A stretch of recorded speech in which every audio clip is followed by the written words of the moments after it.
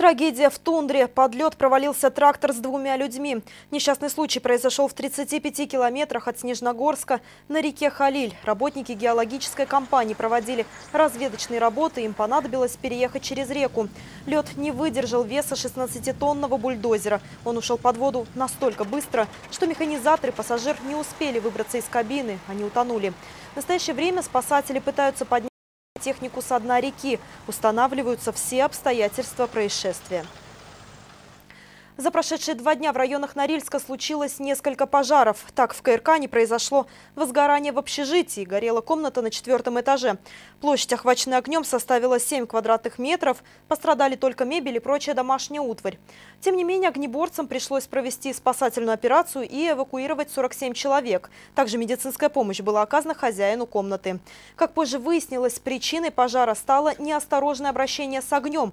Это не единственное происшествие. Сегодня утром произошло возгорание в квартире на Толнахской, 49. Произошло возгорание светильника в коридоре. Значит, в ходе проведения разведки было обнаружено горение стен, потолка, мебели, находящихся в этом э, учреждении, на площади 12 метров квадратных.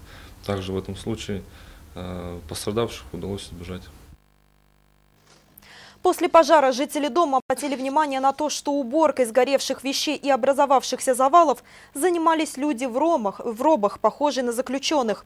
По крайней мере, так утверждает один из очевидцев, обратившихся в нашу редакцию. Мужчина снял все происходящее на камеру сотового телефона. Вот как у него сложилась беседа с людьми, находившимися на месте. А где у вас главный? Здравствуйте. А что у нас, заключенные мусор убирают, да? Из церкви сожженный? Хорошо, я выйду. Вы можете прокомментировать? Проходите, мужчина. Я на улице, я к вам не захожу. Прокомментируйте, пожалуйста. Почему у нас заключенные убирают Никаких мусор? комментариев, идите, пожалуйста. Назовите себя, пре- предоставьте документы, пожалуйста. Вы кто такой? Вы я, граждан- я гражданин Российской Федерации. Я гражданин Российской Федерации. Мы постараемся выяснить, кто были эти люди. Соответствующий запрос будет направлен в специализированное учреждение.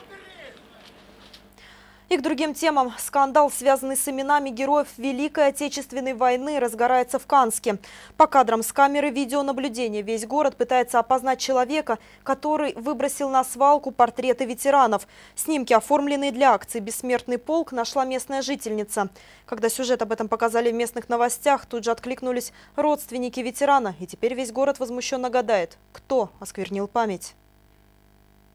Фотографии ветеранов в коробке рядом с мусорным контейнером нашла уборщица местной телекомпании. Естественно, уже в 9 утра ЧП знала вся редакция. Я вообще не понимаю этих людей, кто это сделал.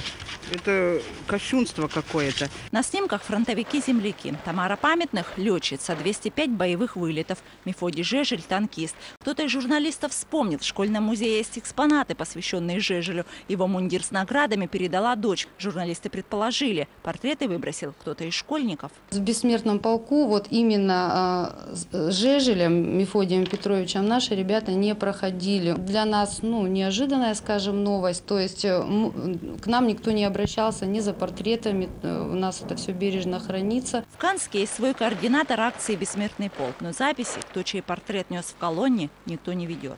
Чтобы родственники выбросили портреты своих э, фронтовиков в мусорку, мне кажется, это какой-то нелепый случай. И я очень надеюсь, что это произошло случайно. Как только сюжет о портретах на свалке вышел в эфир, в редакцию позвонила родственница ветерана Мефодия Жешеля. Последние годы он жил у дочери в Старом Осколе. На малую родину писал письма. Он был родным братом моей бабушки. Он в сороковом году, как призвался в армию, он больше сюда не приезжал. Он прошел всю войну. Армии он посвятил 37 лет своей жизни. В Воронеже он преподавал потом в институте. Эта газета о деле писали в Старом Осколе, Эта история всполошила весь Канск. Мусорный контейнер попадает в обзор видеокамер. Журналисты выложили видео с человеком, который предположительно и выбросил портреты. И на редакцию снова обрушился шквал звонков.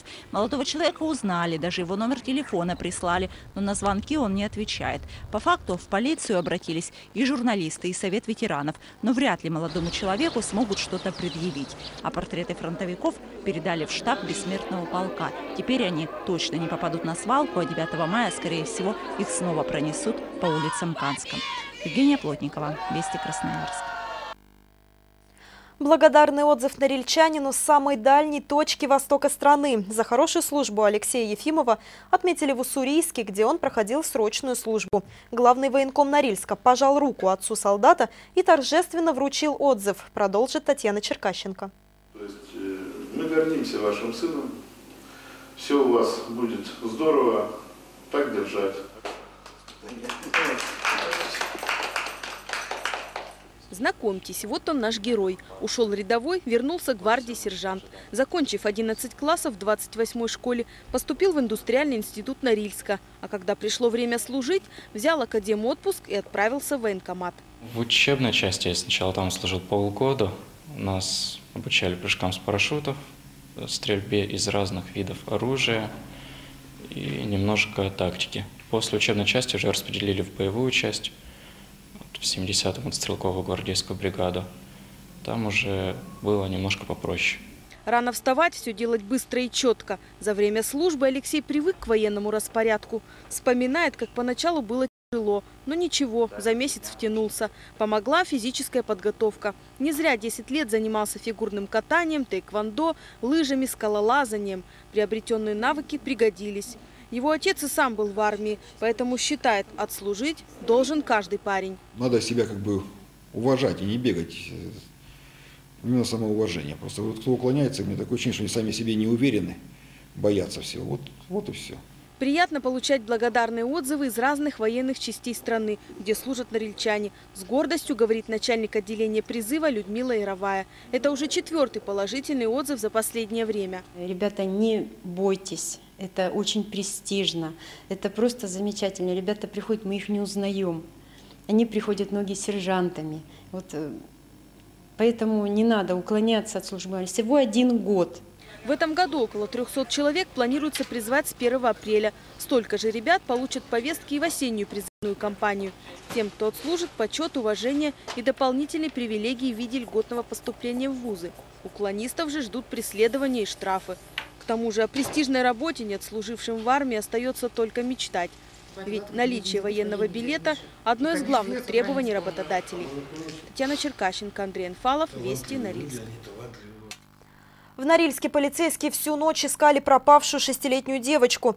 Накануне поздно вечером в дежурную часть поступило сообщение от женщины, что ее несовершеннолетняя дочь вместе с десятилетним сыном ушли гулять на улицу, но домой вернулся только мальчик. Он пояснил, что потерял сестру на городской елке. Женщина в течение двух часов самостоятельно искала ребенка, после чего обратилась в полицию.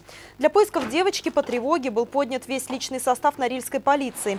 Полицейские проверяли улицы, елочные городки, подъезды подъезда домов. Поиски продолжались несколько часов. Найти девочку на улице удалось местному жителю. Инспекторы по делам несовершеннолетних уже заявили, семья состоит у них на учете. Сейчас устанавливаются все подробности и проводится проверка. С ребенком все в порядке.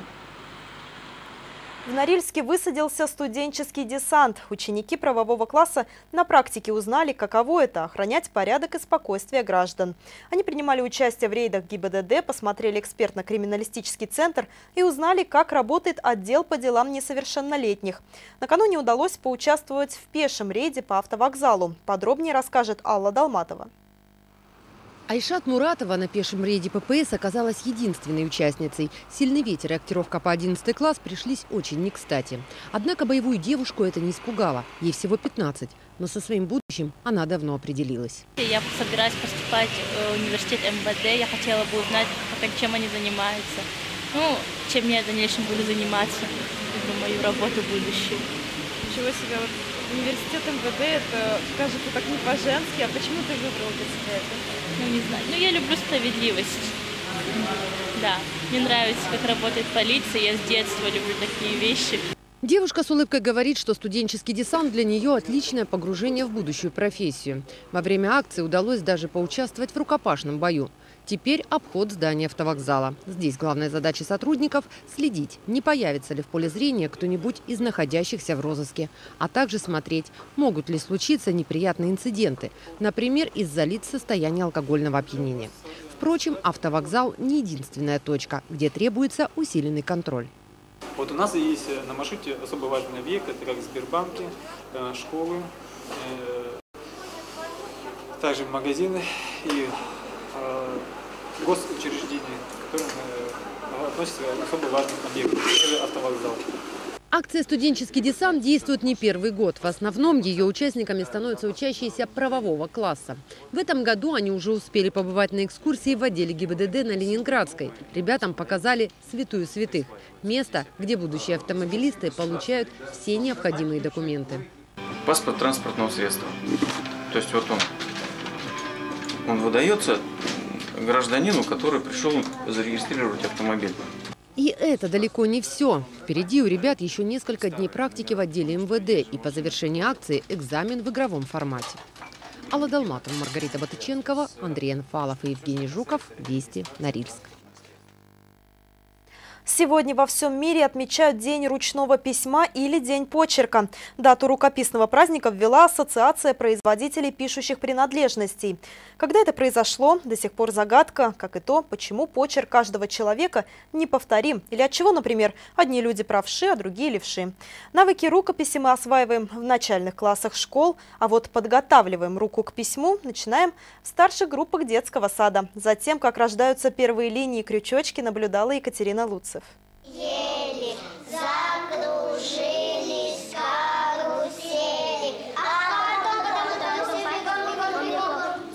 Новые федеральные образовательные стандарты диктуют и новые подходы к обучению. Если раньше уроки письма в подготовительной группе проходили по аналогии с начальной школой, то теперь в форме игры.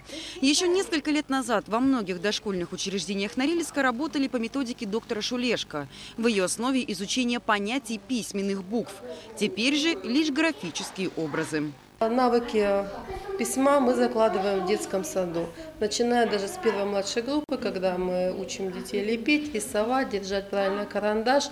Но в старших подготовительных группах у нас происходит э, обучение грамоте, учим детей звукам, буквам. Штриховка и росчерки, изучение звуков, буквы и, разумеется, первые прописи. Умение ориентироваться на строку и в общем на лист бумаги для ребят – первое серьезное испытание. Освоив его, на белом листе бумаги будут рождаться первые отголоски всего алфавита. Пока, правда, лишь в образах линий и закорючек, но это только пока. Но научиться писать – это трудоемкая работа. И ребенку приходится приложить немалые усилия, чтобы вывести или обвести, или провести по контуру, соединить точечки. Требует внимания, сосредоточенности, терпения. Чем больше развита мелкая моторика, тем лучше развита и речь. А письмо, как известно, может помочь выразить свои мысли. Самый часто задаваемый вопрос родителей на тему письма – стоит ли переучивать левшу. После долгих споров и разногласий специалисты наконец сошлись в едином мнении. Не стоит. Если ребенку так удобнее, зачем вмешиваться в природу? При взрослении, правда, почерк поменяется. Графологи видят связь между особенностями почерка и чертами характера. Не случайно для многих специалистов письмо письмо становится важным орудием в работе. Например, для криминалистов именно благодаря письменной речи они раскрывают самые запутанные преступления – от мошенничества до краж, составленными на месте преступления записками для отвода глаз. Подделать почерк практически невозможно, как и узнать личностные качества пишущего. А вот узнать об эмоциональном состоянии человека, его пол и примерный возраст вполне реально. Печально, но растущая с каждым годом популярность электронных гаджетов уводит современного человека от возможности выразить свои мысли, написав их собственноручно. Поэтому весьма вероятно, что в скором будущем письмо или открытка, написанная от руки, станут едва ли не самым желанным подарком. Екатерина Лолцев, Евгений Жуков, Вести, Норильск. Мамонтенка Женю совсем скоро смогут увидеть посетители Таймырского краеведческого музея. Сейчас после трехлетних исследований в Петербурге завершается монтаж уникального экспоната. Слово моей дудинской коллеге Елене Закрыжевской. Мамонтенок Женя, случайно обнаруженный мальчиком Евгением Салендером в 2012 году, наконец-то вернулся домой из долгой поездки в Санкт-Петербург. Там останки древнего животного исследовала группа палеонтологов и сделала массу уникальных открытий. Ученым удалось установить возраст животного – около 15 лет и возможную причину смерти. Мамонтенок мог стать добычей древних жителей полуострова. На уцелевшем бивне имеются следы царапин и сколов, предположительно нанесенные человеком. Вот этот скелет уникален тем, что практически полная комплектация. То есть от одной особи практически все э, фрагменты скелета присутствуют. Вот это очень редко бывает в таком случае, потому что многие скелеты мамонта собраны из нескольких экземпляров, а вот здесь вот представлено. Потом э, очень интересно, что на этом объекте только один бивень. То есть животное было с детства ущербным, инвалидом. У него один бивень был развит, а один деформирован, альвеола. Из глыбы весом 700 килограмм, в которой вперемешку с грунтом находились куски шкуры, мягких тканей и кости, создали уникальный во всех смыслах экспонат. Одного только спирта для восстановления тканей древнего животного потребовалась целая тонна. Часть мышечных тканей, жировой горб, репродуктивный орган и межреберные ткани препарированы и будут представлены отдельно от чучела. Как утверждают музейщики, это единственный в мире экспонат, который создан из собственных костей и тканей мамонта. Последний раз подобная находка попадала в руки специалистов более ста лет назад. Елена Закрыжевская, Олег Гармаш, Вести Тайм. 23 января в Норильске ожидается облачная погода, временами снег, в горных районах метель. Ветер южной четверти 8-13, порывы 15-20 метров в секунду. Ночью в горных районах порывы будут достигать 20-25 метров в секунду. Температура воздуха в течение суток от 16 до 18 градусов со знаком минус.